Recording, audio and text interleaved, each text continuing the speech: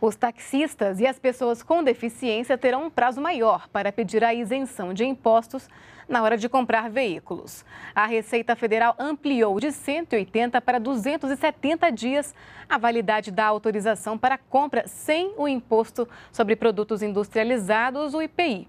De acordo com a Receita Federal, a ampliação deste prazo foi necessária para dar mais tranquilidade aos motoristas que vão ser beneficiados.